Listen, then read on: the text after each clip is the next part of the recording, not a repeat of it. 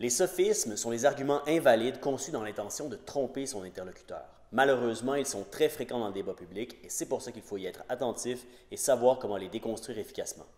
Le faux dilemme est souvent utilisé pour faire accepter un choix très désagréable. On fait croire à son interlocuteur qu'il n'a que deux options, une très désagréable et une autre qui est encore pire.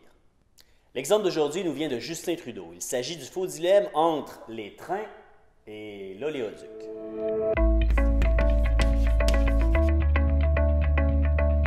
Récemment, le premier ministre Justin Trudeau est venu dire aux Québécoises et Québécois que s'il n'acceptait pas le transport de pétrole par oléoduc, il serait obligé d'accepter le transport du pétrole par train.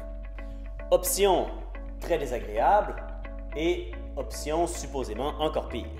Pour déconstruire un faux dilemme, il faut d'abord montrer que les deux options qui nous sont proposées ne sont pas les seules possibles et que d'autres avenues s'offrent à nous. Le transport du pétrole par train ou oléoduc est un faux dilemme de plusieurs façons.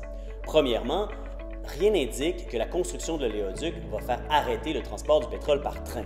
Le transport par train, l'oléoduc, ça appartient à des compagnies différentes qui ne sont pas liées entre elles et qui ont des contrats à long terme. D'ailleurs, le projet Chaleur Terminal, qui prévoit faire passer 220 wagons de pétrole brut par jour à travers le Québec à partir de 2017, va continuer à opérer. On aura donc beau construire un oléoduc, rien ne va empêcher les trains pleins de pétrole de continuer à circuler au Québec.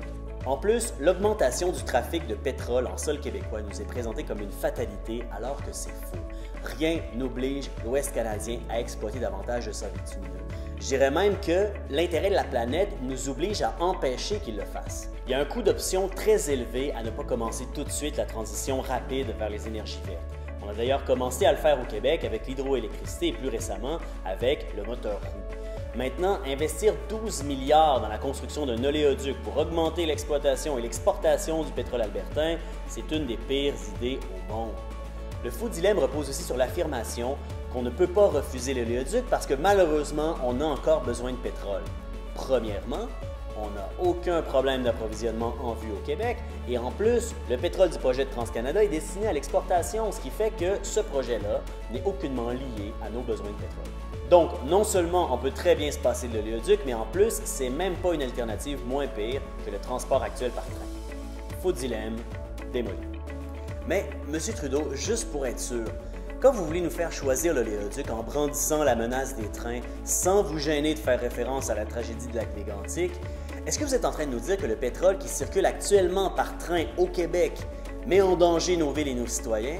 Est-ce que vous êtes en train de dire que les règles de sécurité canadiennes qui sont sous votre responsabilité sont laxistes et pourraient causer encore plus de morts dans les prochaines années? Si c'est ça que vous êtes en train de dire, c'est grave. Monsieur Trudeau, le pétrole de l'Ouest doit rester dans le sable parce qu'on est en 2016.